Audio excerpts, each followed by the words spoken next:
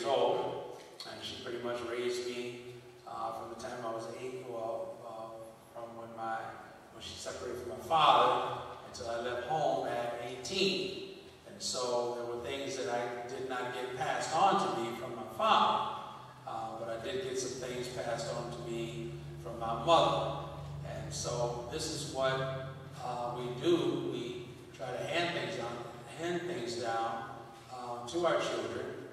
And um, the Bible says a wise man will hear instruction. But a lot of the problems that we have with young people today is that they're not taking heed to the good counsel that's been handed down to them. And then again, too, some of them are not getting any counsel handed down to them because their parents, their mother and father did not get anything handed down to them. But God uh, instructed the, um, the children of Israel through Moses how his word and his truth and his actions uh, and his ways are to be passed down to the children. The greatest successor, succession of truth handed down was our Lord and Savior Jesus Christ. And even God exemplified handing down his truth by giving it to Adam.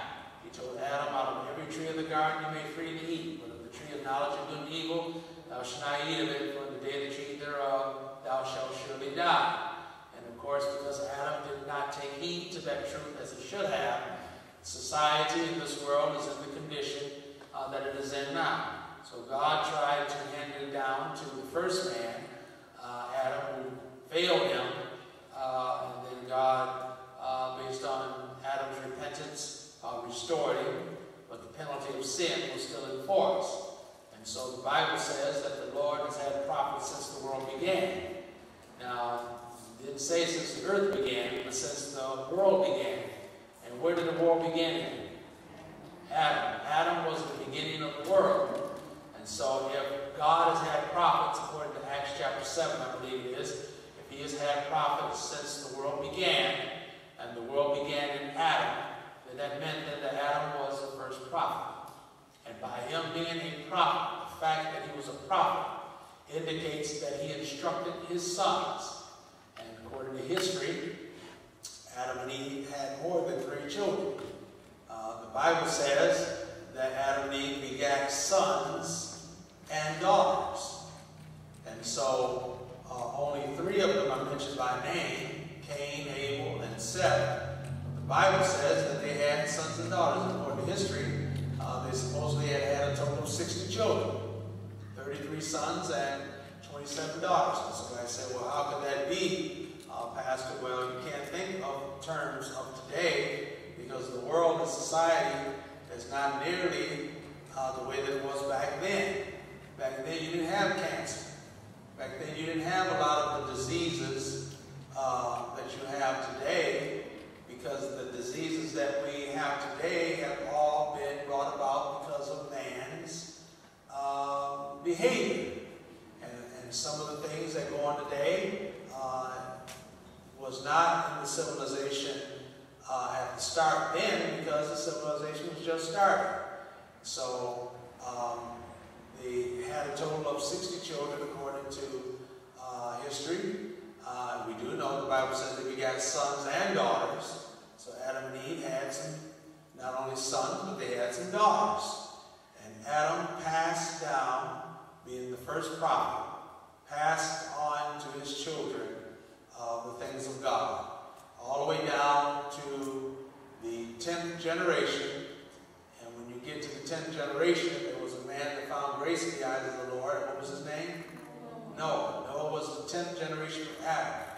And Noah knew the things of God simply because of the fact that it had been handed down uh, from generation to generation. Now, um, I don't have uh, those notes here, but I did a study to show how a lot of the patriarchs' uh, lives overlapped from each other.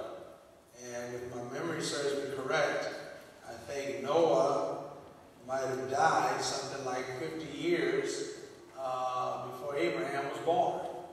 And so I did a study as to how long these fathers lived and um, how much their lives overlapped the other patriarchs' lives, men of God. And there's something to see, and you can actually see how the truth of God and the knowledge of God uh, could actually have been handed down. Because many of these individuals' lives overlapped uh, each other. You say amen? And we'll, we'll, we'll look at that. I have all the material, just a matter of formatting into a Bible study and present it to you. But um, be that as it may, our subject is, and God said, let us make man. So let us read verse 26 again in Genesis chapter 1, and verse number 26 to do a brief recap. And we're going to bring this subject to a conclusion tonight. All right, Genesis chapter 1, verse number 26. Let's read. And God said, Let us make man in our image, after our likeness, and let them have dominion over the fish of the sea, and over the fowl of the air, and over the cattle, and over all the earth, and over every creeping thing that what? Creepeth upon the earth. Now, God makes this statement in the sixth day. There are seven days in God's created week, is that right? And in the sixth day, the sixth day began with God making who? Man. Made man first, then the animals. And verse 24 is the beginning of the sixth day, because verse 23 says, And the evening and the morning were the fifth day, which means that verse 23 concludes the fifth day of God's created week. And so in verse 24 begins the sixth day. It begins the sixth day by saying, and God said, let the earth bring forth the living creature. Again, living creature comes from the Hebrew word nephesh, which means a living soul. Know that animals do not have souls. The only creature out of all of God's creation that has a soul, which is the eternal part of man, is man himself. So we have the beginning of the sixth day, and God said, let the earth bring forth the living creature Now keep in mind, as we told you before, the first 34 verses of the Bible, which is Genesis chapter 1, and the first three verses of chapter 2, is not what God did, but what he planned to do. We are reading God's plan in his foreknowledge. This is what he is planning to do. And he planned out his creation. He thought out his 50,000 year plan, which include these seven days and each one of these days are 50,000 years long, uh, 7,000 years long, excuse me. Each day is 7,000 years long. God's plan of time is 50,000 years. And it is spelled out in a period of seven days, known as the seven days of God's creative week. Now, in Him, in His mind, because what we are reading is before the foundation of the world. We are reading what God plans to do. Now, five days have already passed, and part of the sixth day has already passed. So now we are almost 6,000 years into the sixth day. Even scientists concur with the fact that modern man, that's the term that they use, modern man, has been on the earth for some six, almost 6,000 years, which in fact coincides with the Bible. Now, we're not talking about Neanderthal man and the caveman, all these other kinds have made up that are not in the Bible. Can we say amen? You know, but the term that they use is modern man.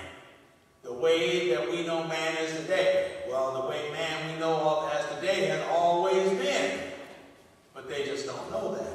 So it's been 6,000 years from the time that God began the sixth day by saying, let the earth bring forth the living creature. Now, he is creating first 34 verses of the Bible.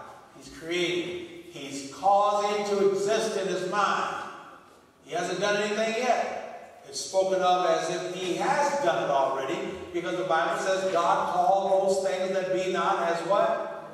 Well, they were. He says, before they bring forth, I speak of them. Think of, I think he said in the book of Isaiah. He declared the end from the beginning. God has already determined what the end is going to be from the beginning. So we are in his mind, before the foundation of the world, in these first 34 verses of the Bible. This is God's 50,000 year plan of time. And He creates everything, plans out what He is going to do in each of these days. And when He gets down to the sixth day, in His mind, in eternity at this time, because He is in eternity, planning out what He's going to do when He begins time. He begins the sixth day by saying, let the earth bring forth the what? Living creature. And that's why in Genesis chapter 2, verse number 7, you get the beginning of the sixth day. It begins with God forming man out of the dust of the ground and breathing into his nostrils the breath of life, and man became a what? Living. So that's the beginning of the sixth day. That's the beginning of God executing what he had planned in the first chapter in verse 24. He is now executing in the second chapter, verse number 7. That's the beginning of the sixth day. Now, the sixth day was not just to include God forming man out of the dust of the ground or making the animals from the dust of the ground, because as we go down a little further in his mind, in his plan, in verse 24 and 25, God made the beasts of the earth after his kind, cattle, after their kind, everything that creepeth upon the earth after his kind, and God saw that it was good. This is all in one day, the sixth day. Now in verse 26, we get to the middle of the sixth day. We have something a little different. And God said, let us make man in our image and what? After our likeness. Now that clause, that clause is different from verse 24. It's different from Genesis 2 and 7. It's not dealing with God forming man of the dust of the ground because in his plan, that is done in verse 24. But when he says, and God said, let us make man in our image and after our likeness. This is in the middle of the sixth day now. The beginning of the sixth day is in verse 24. Middle of the sixth day is in verse 26. And this has reference to God speaking to the church, pronouncing that he was going to use the church to make man in his image and after his likeness. Now, why would God have to make man over again in verse 26? Because he knew in the beginning, up until a certain time, that man that he had made in his image initially, and made him holy, and made him perfect, that corruption was going to set in. He already knew. So in his plan in eternity, before the foundation of the world, he had planned out to make man, make the animals. He had planned out to create man, which he did, but he knew that man was going to mess up. And so he had also in his plan to make man over again in his image and after his what?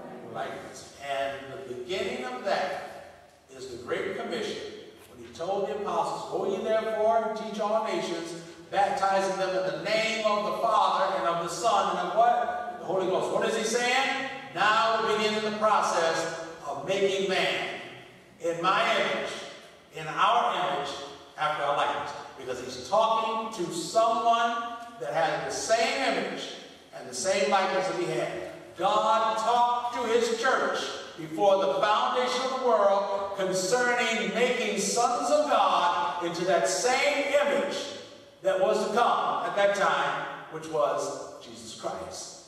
He talked to the church before the foundation of the world. Yes, he chose us, Paul said, in him before the foundation of the world. Lamb was slain before the foundation of the world. The Lamb's book of life, the names were written in the Lamb's book of life before the foundation of the world because God's entire plan was done and finished before the what? Foundation of the world. Before the foundation of the world. And so this is why a lot of people stumble at Genesis 126 they think it's the same thing as verse 24, or they don't even understand verse 24, because they think that in verse 24 when it says, and God said, let the earth bring forth a living creature, they think that's an animal. But it's not an animal, that's the human animal. That's man. But they think Genesis 1.26 is Genesis 2 and 7, and God formed man out of dust ground. Oh no, that happened at the beginning of the sixth day. We're in verse 26. This is in the middle of the sixth day. Jesus Christ came in the middle of the sixth day. Why? Because it was in God's plan before the foundation of the world that he was going to make man in his image and after his likeness, and that he was going to use the church to accomplish his goal. Why? Because God wanted a bride. And that bride will be those that will make the rapture. Can we say amen? All right, now, the rest of verse 26 goes back to what man was going to be doing in the beginning of the sixth day. But the first clause is dealing with something completely different. And that's how the Bible is written. The Bible is not written just like any other kind of book, like the People magazine or the Newsweek magazine or the Bay City Times, which is, uh, they can't even get that or your James Patterson novels. Can we say amen? You know, the Bible don't read like that. The Bible is here a little and there a little. In the Bible, you can have a verse that has nothing to do with the content of the subject that the verse is in. That's how prophecy works. And in this text here, verse 26, and God said, let us make man in our image and after our likeness, is completely different from the rest of the verse completely different from verse 24 because that's how the Bible is written. It's written to deceive the natural man. Why? Because it's not given to him to know the mysteries of the kingdom of God. It's given to the children of God. He has hidden these things from the wise and prudent and revealed them unto who? Babes. That's why people, when they read it, they say, oh, he's talking to the Trinity. Or he's talking to the devil. Or he's talking to the angels. The devil is not cooperating with God to make the church into his image. Can we say amen? He's too busy trying to destroy the church. The angels have nothing to do with trying to make the church into God's image because angels don't know anything about being saved and being lost. They, have, they know nothing about it. And of course, there is no Trinity. Can we say amen? Let's just talk about the movie Trinity. I know there was a Western back in 1972 called They Called Me Trinity. Remember that show? Well, that's pretty funny Western. You ought to see. They Called Me Trinity. And the next movie they came out with, uh, I Said Trinity is My Name. And then they came up with a third one, and you know how it is when they come up with sequels. They're like, okay, nothing is as good as the first one. Is that right? But uh, be that as it may, he's talking to those he chose in him before the foundation of the world, the church. God determined before the foundation of the world that he was going to use the church that he had established in the earth to make us into that perfect image of his perfect son. What's his name? Jesus. And he's using the church to do it. All right? But that's just a brief recap. Let's go to, um, me see. We already covered uh, 1 Corinthians chapter 3, verse 9 through 17. I think we did cover that. That's dealing with defiling the church of God. The church of God can be defiled through false teaching. That's what 1 Corinthians chapter 3, verse 9 through 17 deals with. Because remember we talked about Paul saying that other foundation can no man lay than that which is laid, which is who? Jesus Christ. Uh, but let every man take heed how he builds upon that foundation. Any man build upon that foundation gold, silver, precious stones, wood, stubble. Every man's work shall be tried by fire, and the fire shall reveal what sort of work that it is. He was not talking about actual gold, silver, precious stones, wood, hay, stubble. He's dealing with the quality of one's workmanship. So as the pastor is building, God using the church to build his church with the souls of men through the ministry that is established. Quality of the workmanship of the pastor should be of gold, silver, and precious stones. So that when the fiery trial comes, test will come, because churches go through trials, the work won't be destroyed.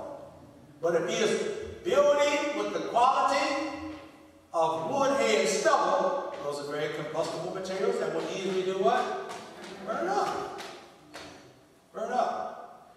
Now, if the trial comes and destroys his church, because the quality of his workmanship was of the quality of wood, hay, and stubble, that doesn't mean that the pastor is going to be lost, but he can still be saved. He's going to lose his reward, but he can be saved. But if he's going to be saved, he's going to be saved through the trials and tests that he goes through. Let me say amen. Then he talks about defiling the temple of God defiling the church of God. This scripture deals with the church, the entire church of God as a temple. In 2 Corinthians chapter 6, we are individual temples. In, uh, in uh, uh, the scripture that we're talking about here, uh, in 1 Corinthians chapter 3, the church of God is a temple. So we are individual temples. As a whole, we are the temple. Individually, we are sons of God.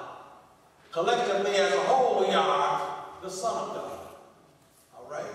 And so, um, the temple of God, the church of God, can be defiled through false teaching. And he said, He that defiles the church of God, him shall God what? Destroy. Remember we read that last week? We're not going to go back over it because we want to finish this tonight. So, we don't want God's church to be defiled with false teaching, even though there are some out there teaching false doctrine and defiling the church, corrupting the church through their false teaching, teaching once saved, always saved, or teaching you don't have to be baptized in Jesus' name, you're supposed to be saved, teaching that baptism in Jesus' name is just tradition, you don't have to be baptized, all these type of things. These things are defiling God's church. And the Bible says, he that defiles the temple of God, God will destroy him. All right? Well, let's look at that a little further. Let's go to James chapter 5 and verse number 20. Well, I said verse 20, but we might start uh, at verse 19. James chapter 5 and verse number 19. See, truth is important. You know why it's so important? It's because God is building his church with the truth. And false doctrine, false teaching is very damaging. James chapter 5, and let's read verse number 19. All right, we have let's read. Brethren, if any of you do err from the truth and one were converted. So now he says brothers. So he's dealing with someone that is in the church. Someone that's saved. Brother, if any of you do err from the truth and one convert him. The individual has erred from the truth, they have strayed from the truth, and one comes and converts them back into the truth. Let's read verse 20. Let him know that he which converted the sinner, now hold it, he is a what? Sinner. If he errs from the truth, that means he's gone into falsehood, and he is considered, according to Scripture, a what? Sinner. Now, if he gets converted, let him know that he which converted the sinner from the what? Error of his way shall save a soul from death and shall hide what? False teaching is deadly. And it is destroying many people today because the order of our day is deception, false doctrine. People will sit up and curse and swear and commit all kinds of sins and at the same breath tell you how saved they are. They bring a whole new meaning to hypocrisy. It's as though that sin is tolerable today. They do not want to be corrected. They do not want you teaching against sin because they say if you do that, you're judging. You're not supposed to judge anybody. That's not what the Bible said. It says, judge not that you be not judged. Why should I judge not that I be not judged? Because whatever judgment you give is going to come back to you if you're guilty. And then he says, why then are you trying to cast the mote out of your brother's eye when there's a beam in your own eye? Then Jesus says, thou hypocrite. So what is the text saying? Don't be judging nobody when you're guilty of the same thing. And don't want to be judged. He's not saying you cannot judge because the Bible says in 1 uh, Peter 4, 17 that judgment begins at the what? House of God. Then he says in 1 Corinthians chapter 6, no, you're not that the saints shall what? Judge the world? What are you talking about? You just don't want to be corrected. Not you, but those I'm talking to. Can we say amen? You just don't want to be told that you're wrong. You just don't want to be told that follow peace with all men and holiness without which no man shall see the Lord. You don't want to be told that the wages of sin is death. Now that's a judgment right there. But the gift of God is what? Eternal life through Jesus Christ our Lord. You just don't want to be taught that you have to repent. John the Baptist says the axe is laid at the root of the tree. You need to repent. Turn from your wicked ways. As the prophet spoke in behalf of the Lord in Isaiah 55, Seek ye the Lord while he may be found, call ye upon him while he is near. Let the wicked forsake his what? Way. And the unrighteous man is what? Thoughts. So according to you, I'm not supposed to call nobody wicked. I'm not supposed to call nobody unrighteous. Well, if we can't do that, then how do we know what righteousness is and what wickedness is? We know what it is according to what God says it is. You have to call a spade a spade. Can we say amen? And you can't sit up there and say you're not supposed to judge. Drive 100 miles down Madison and get taken to jail and go in and tell the judge that. You can't judge me because the Bible says, judge not that you be not judged. Doesn't that sound ridiculous?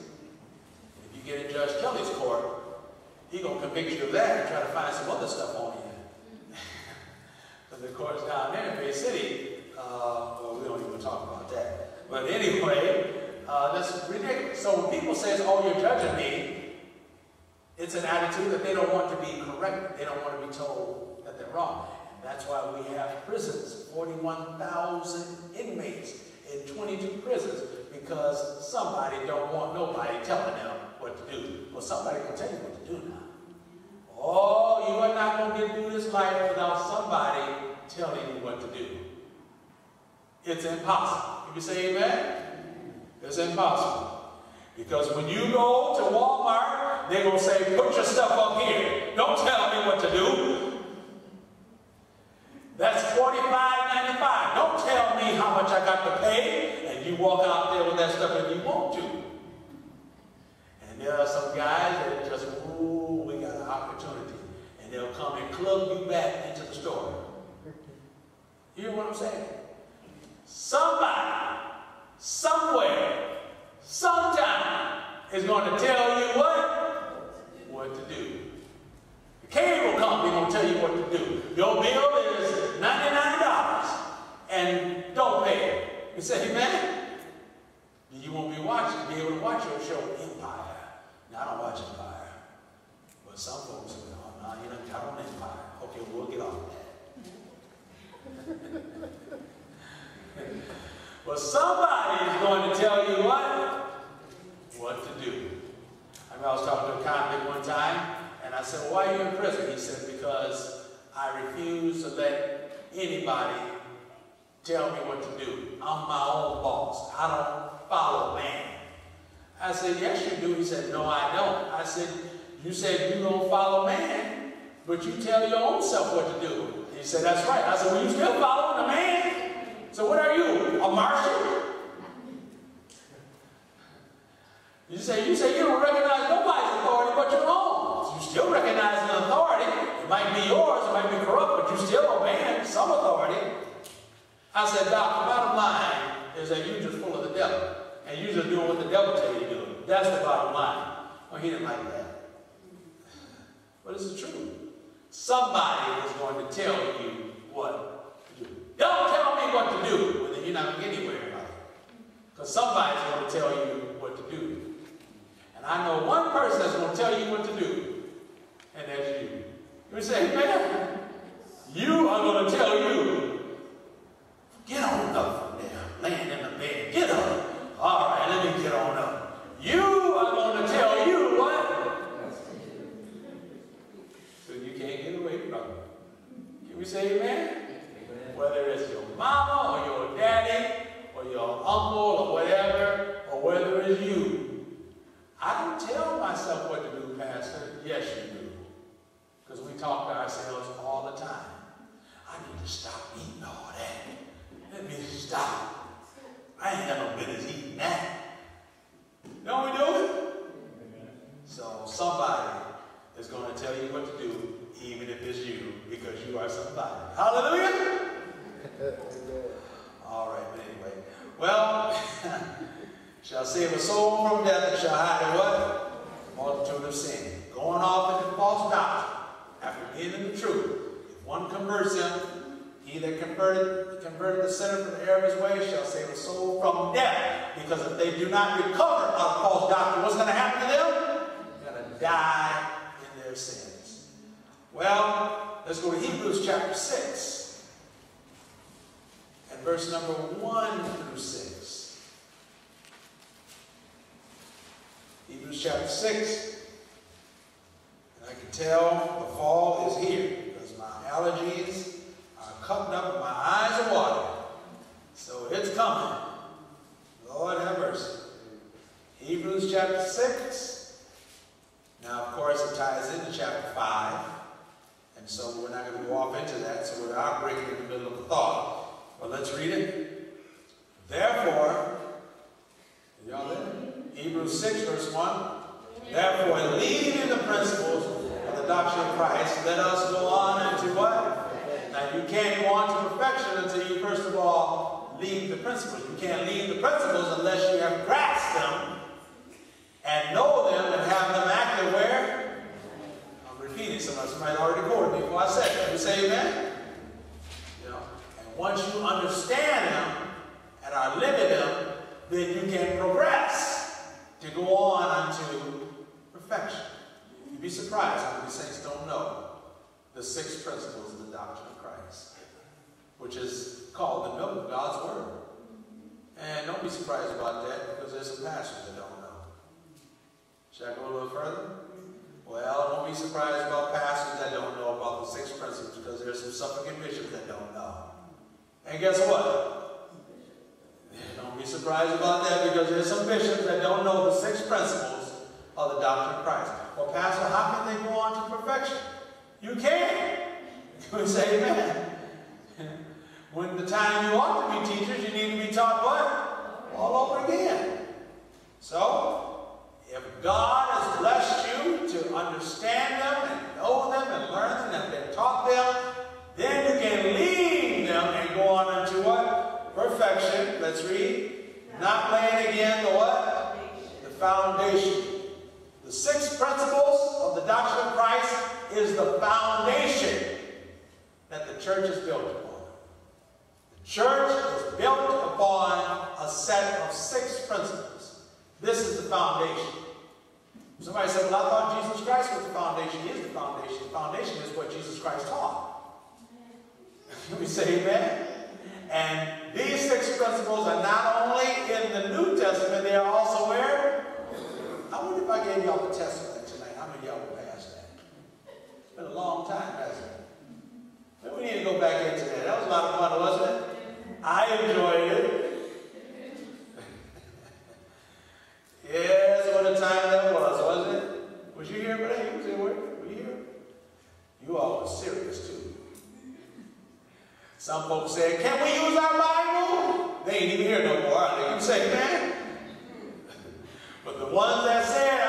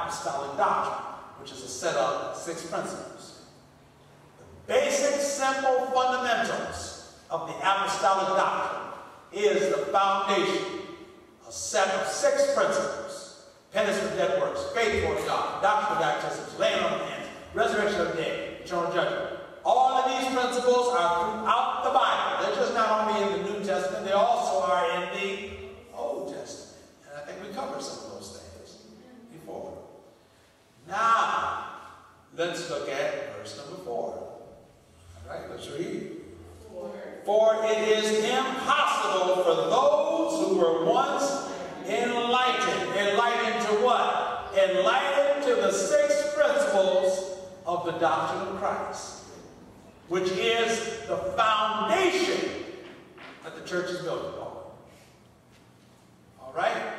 It is impossible for those who were once enlightened and have tasted of the what? Heavenly gift and were made partakers of what? The Holy Ghost and have tasted the good word of God and the powers of the world to come, if they shall fall away. Now, the falling away. Falling away from what? Falling away from the teachings of the six principles foundation. And how is it they fell away? Well, they are not teaching it. They're teaching something contrary. Anytime a person teaches contrary to foundational truth, they have fallen away. Fallen away from God. That's what the Bible says. Have tasted the good part. Verse 6, they shall fall away to renew them again unto what? Repentance, seeing they crucified to themselves the Son of God afresh and put him to a what? See, we thought that it had to do with somebody backslide. Oh no, this happens when they fall away from truth. That's why the Bible James says that they are a sinner. That's why Paul says uh, they are defiling the temple of God, and God's going to destroy them. Did you know that Jim Jones was baptized in his name from the Holy Ghost, was apostolic at one time?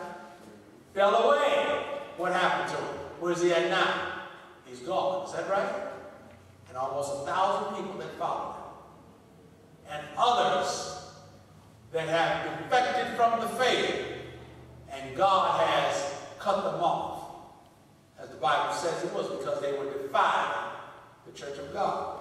Well, if they shall fall away, fall away from what? Fall away from the foundation. What is the foundation? The set of six principles.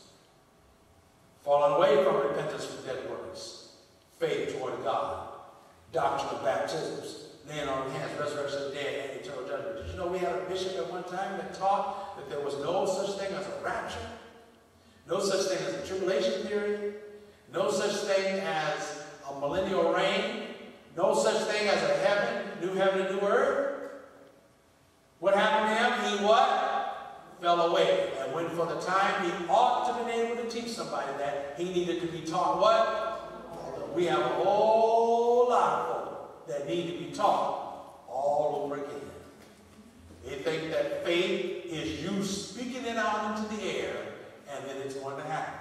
That you can call those things that be not as though they were. What happened? They've fallen away. They need to be taught all over again what faith toward God is. Can we say amen? It's not you speaking something out into the air and happening. Faith is God's word. Believe. But see, they teach now, you know, these word of faith churches. And we have them around here, they call, you know, the word of faith churches. That phrase, word of faith, is not talking about this word. Oh no. It's talking about their words. Because I have the whole word of faith doctrine downstairs in my office. It was brought about by um, Kenneth Hagin, I believe it was. Kenneth Hagin. Uh, and Kenneth Hagin's teachings is followed by Joyce Myers, Creflo Dollar, Fred Price, John Hagee, a lot of the big-time preachers you see on television have tutored under the teaching of Kenny Hagin. And that's why, if you listen to all of them, they all teach and say the same thing because they tutored under the teachings of Kenny Hagin, who was the one that brought about the teachings of Word of Faith. That you are supposed to have faith in your word, that you should have a word of faith, and that you should have faith in your words. Have faith in your faith to produce action. That God has faith in His words, and because He has faith in His faith, or faith in His words, He can make things happen. He can speak things out into the atmosphere, and it would happen. And so you should have the word of faith. You should have faith in your words to do the same thing. Because if God can do it, then you can do it. That's a lie from the pit. Because I could say, million dollars. I don't see it nowhere. Can we say amen? That's a lie from the devil. You don't have faith in your faith. You have faith toward God. You can't speak those things that be not as though they were because you are not God. God took a fistful of nothing and made the universe. You can't take a fistful of anything, and some of us can't even take a fistful of chicken and cook anything. I'm quite sure some of y'all can. Can we say amen? Can you make chicken cacciatore? Is that what is that? Well, look it up. Lamb the glass, Vichy swan. I said, what in the world is that? I don't remember, it just sounds good. But what I am saying is that we can't take nothing and make something. God took nothing and what? Made everything. We can't do that. Because there's only one God. You Can you say amen? Now you can speak things and make it happen. I'm going to get on up out this chair. And then you get on up out the chair.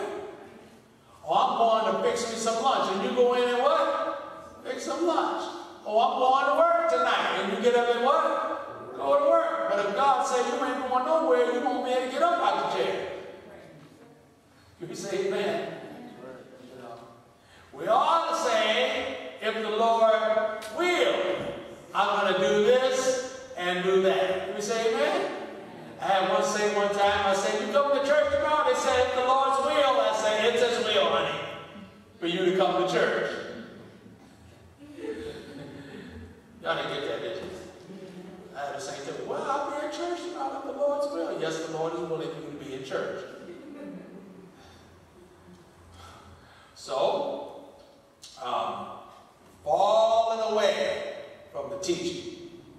And it is very damaging because God is trying to make man in his image and after his what? Likeness. And he's using the church to do it. But the devil's come in and corrupted. And trying to take the very entity that God is using to make man over again and trying to use it to destroy man. Remember, Jesus said, upon this rock I build my church, and the gates of hell shall not what? Prevail against. But they're trying. They're trying. Well, let us now go to Matthew chapter 3. We're almost finished here. We got one, two, three, four, five, six scriptures that we're done. Matthew chapter 3, verse 11 to 12. Matthew 3, and verse 11 to 12. He is making us in his image after his likeness. And he's doing it through the ministry that he's established on the earth, which is the church. All right? Matthew 3, verse 11 to 12. The words of John the Baptist. Let's read. I indeed baptize you with water unto repentance. Now, John came baptizing. His ministry was to baptize the Messiah and make him manifest to Israel, but he didn't know who the Messiah was, so he just baptized anybody that came.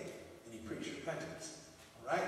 He said, I indeed baptize you with water unto repentance, but he that cometh after me is mightier than I, whose shoes I am not worthy to bear or carry. He shall baptize you with the Holy Ghost and with what? Fire. Now that fire has to do with the test and trial. You know, it doesn't, you know, people stood up, we used to hear people all the time when I was coming up, I thank God that I've been baptized with the Holy Ghost and that with fire. And they just start shouting around and jumping around, making a whole bunch of noise. That's not what he's talking about. Another thing that people generally say that you don't hear much of it, but I used to hear it quite a bit. I thank the Lord that I'm saved, sanctified, and clothed in my right mind. I'm glad you are clothed in your right mind. Why do they say that? Because of the man that had the demons cast out of him from Gadara, when Jesus cast the devil out of him, the Bible says he was delivered, clothed, and in his what? Right mind. Why? Because he was running around naked. So sometimes I kind of tickle about that when saints say, I'm saved, sanctified, and clothed in my right mind. Well, yes, we can see that you are clothed. Can we say amen? amen. But whether you are in your right mind is remains to be seen. Hopefully you are. You know, but that's where that came from. But anyway, he shall baptize you with the Holy Ghost and with fire. After the word fire, you have a what? What is that there? What are those two periods? That's a colon, which means that there's an explanation to follow instead of the previous statement. What is the fire? He says, whose fan is in his hand, and he will thoroughly purge his floor and gather his wheat into the garner, but he will burn up the chaff with what? So the fire is the purging of his floor. Now, the floor he's talking about is the threshing floor, which was a hard surface, packed down hard. And this is where they thresh wheat. The farmer would go out and bring the wheat in and put it on that threshing floor. There was two ways that he threshed. When we talk about threshing, what is threshing? It's separating the chaff from the wheat. It's knocking out the kernels.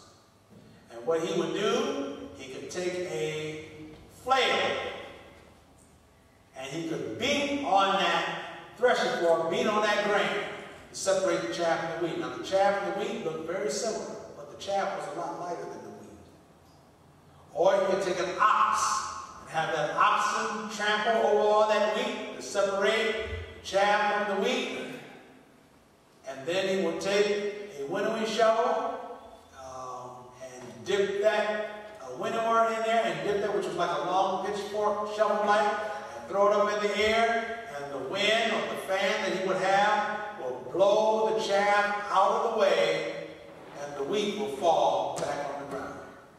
So the fire, which is a test of the trials, is symbolic of us being on his threshing floor. And God is separating the chaff from the wheat, separating his children from those that are not his children. Working out of us things that are not like him, separating the chaff and the wheat. And this is what he does for the church, because he's trying to make us in his image and what? After his likeness. Can we say amen? That we will be like Jesus. Now let's go to 1 Corinthians chapter 15, verse 47 to 49. We're almost finished for tonight. 1 Corinthians 15, 47 to 49. All right. Two verses there.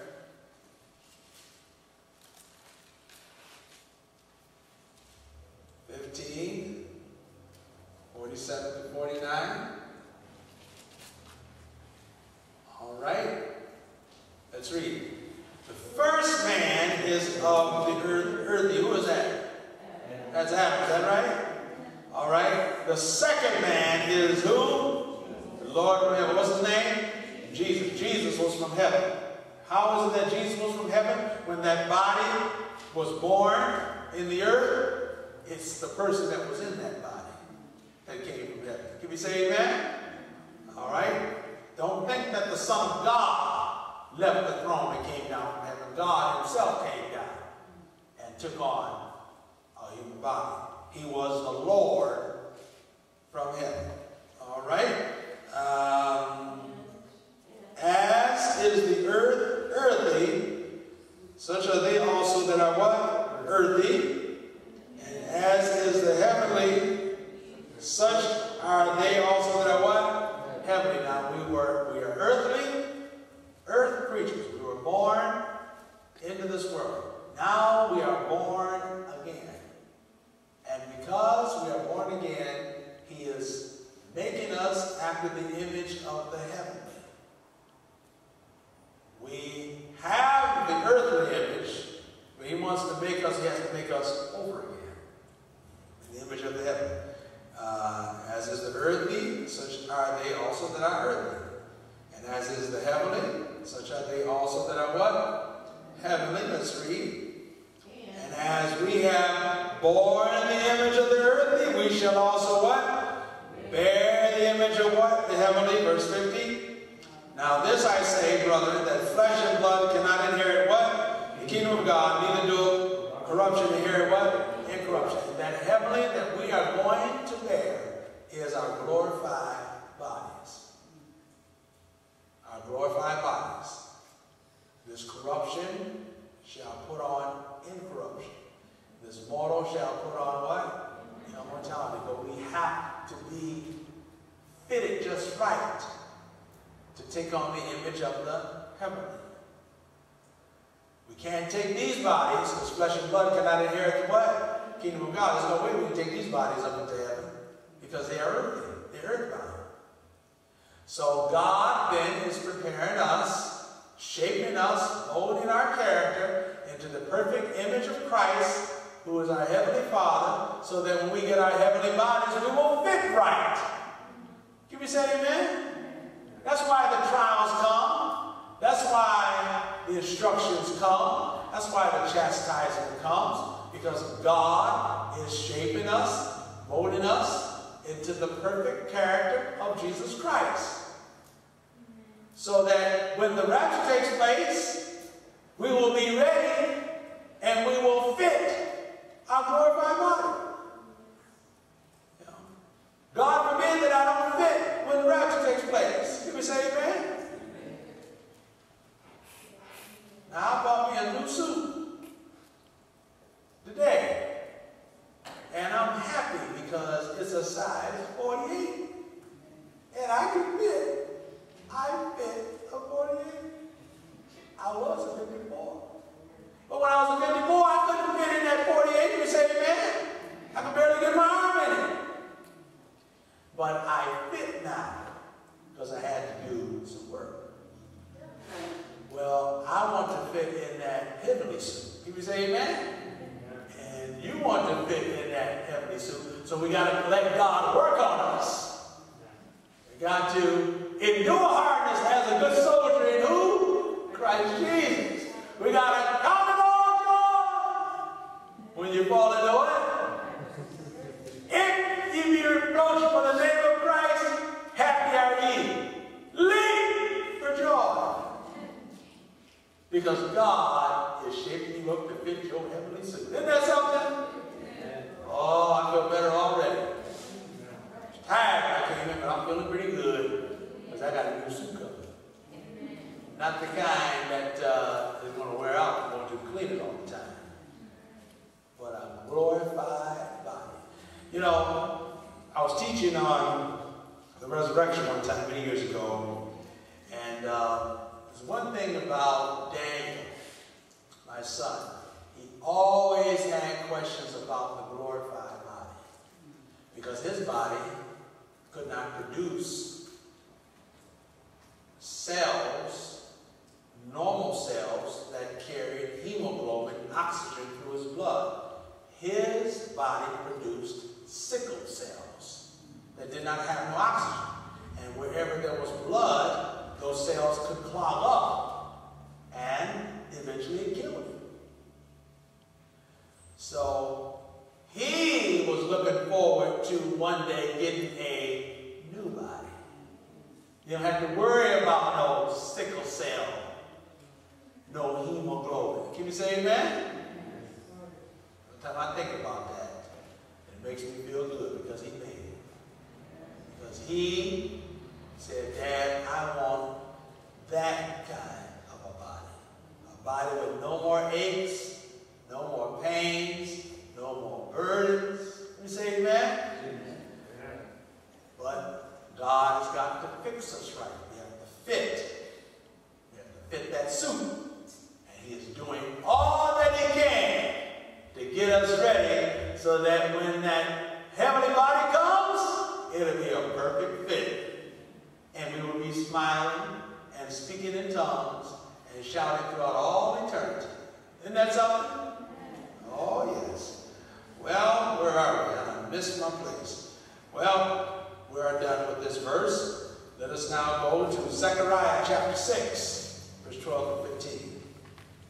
Zechariah chapter 6. Let us make man in our image and after our likeness. And he is doing just that right now. Now, this is a prophecy, verses 12 through 15. Zechariah chapter 6, verse 12 through 15. This is a prophecy of God building his church using the Gentiles. See, the Jews thought that these verses were talking about them because they thought that this had reference to the Jews that were dispersed throughout the then known world, as they thought. So when Peter, when Peter preached on the day of Pentecost, when he said, Repent and be baptized every one of you in the name of Jesus Christ, for the mission says, You shall receive the gift of the Holy Ghost, for the promise is unto you, to your children, and to all that are far off, even as many as the Lord our God shall call. He thought concerning this verse Because the Jews that lived in the environs of Jerusalem were called the Jews that were near. And those Jews that lived outside Jerusalem were called the Jews that were far off. And so when he quoted that, all that are far off, he was thinking in his mind that salvation is for those Jews that are near and those that are far off because of this. Because they preached the gospel from the Old Testament.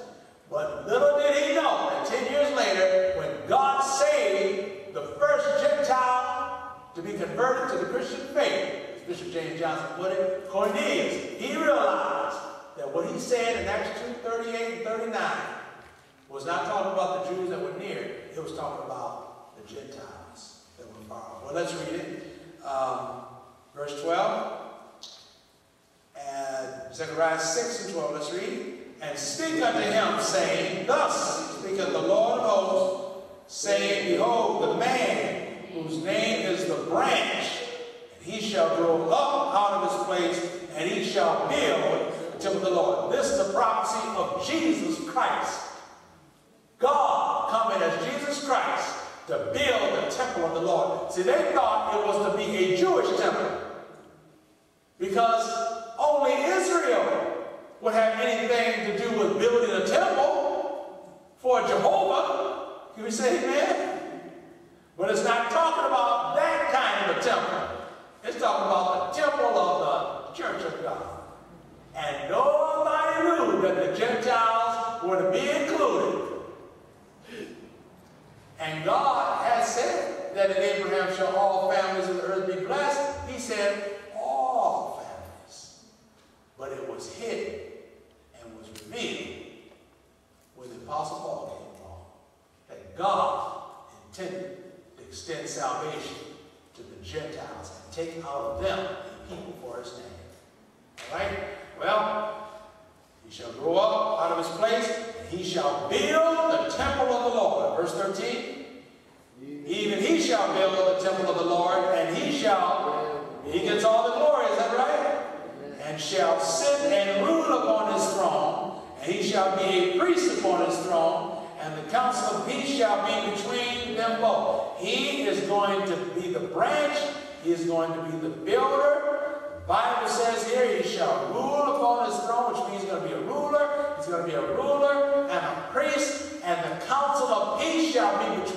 Both, them both positions.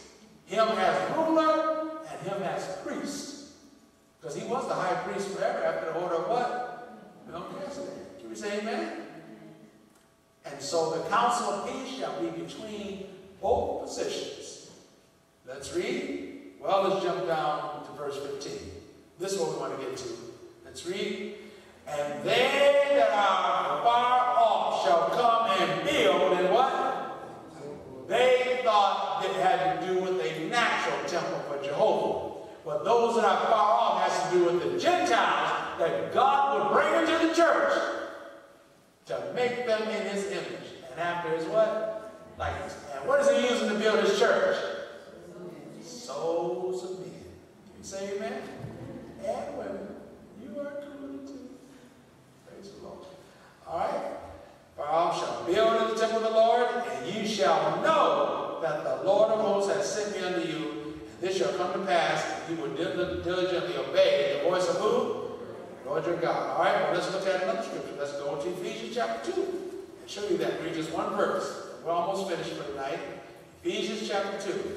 They that far off shall come and build in the temple of the Lord. And that's what we're doing tonight.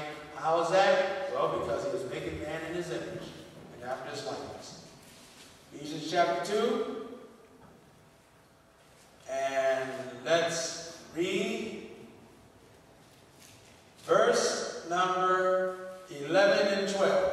Ephesians chapter 2, verses 11 and 12. All right, let's read there. Wherefore remember that ye being in time past what? Gentiles who are called uncircumcision by that which is called what? For the Jews, in the flesh made by hands.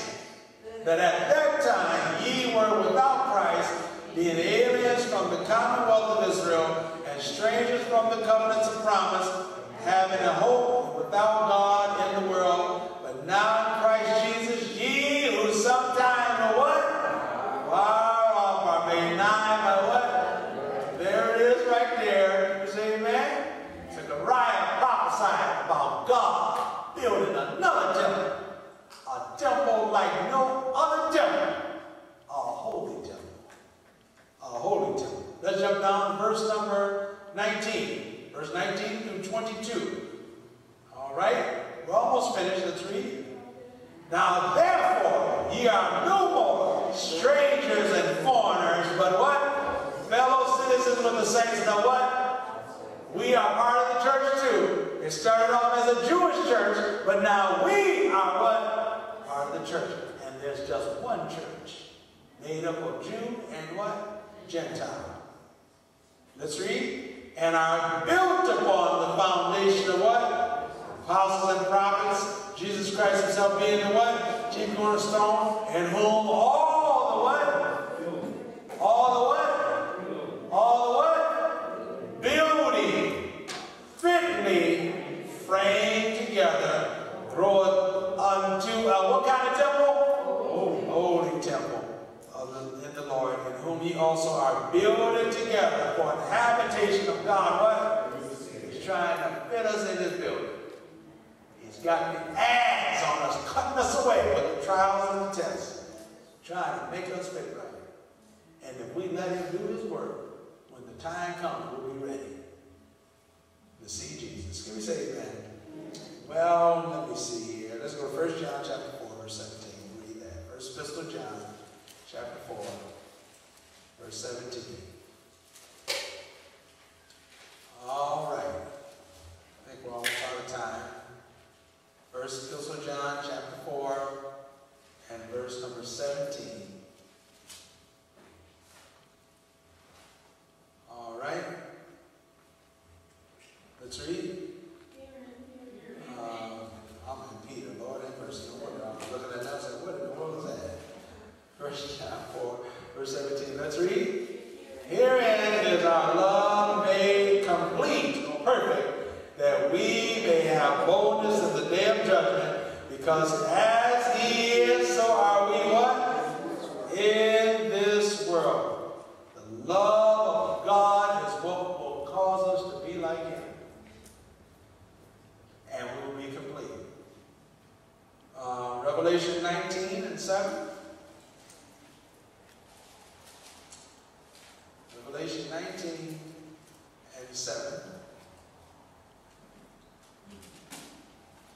God is making us in his image, after his likeness.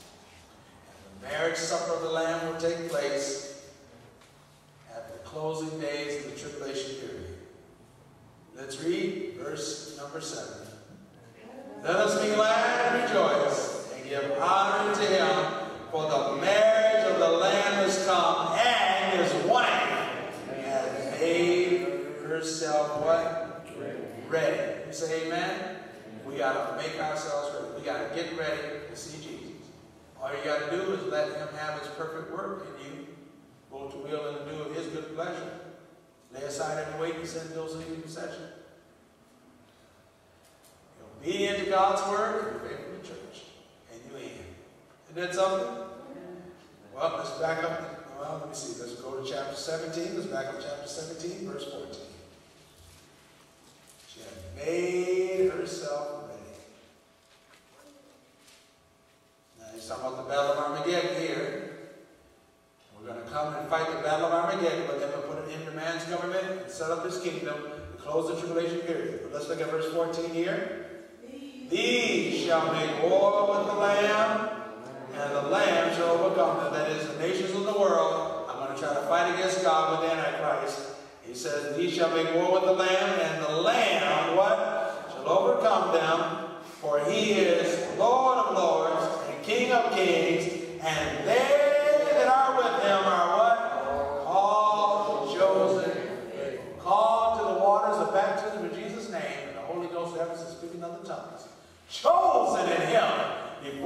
foundation of the world and faithful unto death. Those are the ones that are going to be with him. Let's go to Daniel chapter 7, verse 13 to 14, the last scripture. Daniel chapter 7, verse 13 to 14. The subject took a little longer than we thought.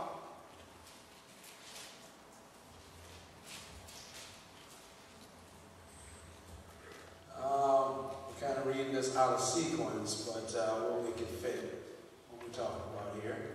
Um, Daniel saw this prophecy. Daniel 7, verse 13. Uh, and I saw, I saw the night visions, and behold, one like the Son of Man came with the clouds of heaven, and came to the Ancient of Days, and brought him near before him. Now, who is that? One like the Son of Man. You didn't answer. I thought somebody was going to say Jesus. That's the church. One like the what? We shall be like him, but we shall see him what? I thought I was going to catch it, but you're smart. You're smart. He saw the night visions, one like the what? Son of Man came with the clouds of heaven and came to the Ancient of Days. Now, the Ancient is God. He got some days when he became a man. So the Ancient of Days is Jesus. We say amen? Jesus. All right. Uh, let me see. And they brought him there before him. Verse 14. And there was given him dominion and glory and a kingdom that all people, nations, and languages should serve him. His dominion is an everlasting dominion which shall not pass away, and his kingdom that shall, which shall not be what? Destroyed. One like the Son of Man came to the what? Ancient of Days. And that's what's going to happen when the rapture takes place. We're going to be coming to the Ancient of Days. We're going to be caught up in the clouds to meet the Lord where? In the air. And we're going to be just like him. We shall see him as he is. He said, let us make man in our image after our likeness, which is the whole purpose of God's 50,000 year plan of what he wants. Are there any questions tonight? We'll cover. Yes, thank you. Okay, one at a time. No, angels do not. Angels are spirits. They are spirits. And um, they do not have soul like, uh, like we have. They are spirits. Okay, don't, they don't have bodies. They can manifest themselves in, in all kinds of different forms. Anybody? Yes, any other question? Um, Romans 16, 22. Romans 16 and 22. All right. What's your question there? Um, I thought Paul wrote Romans, but it says I, Critias, wrote this epistle. Did he like, dic- did Paul dictate? Paul dictated because he was in prison at the time. Oh, okay. and his hands were bound with chains. So this epistle, he, he had somebody else write, and he dictated. Anybody else? All right.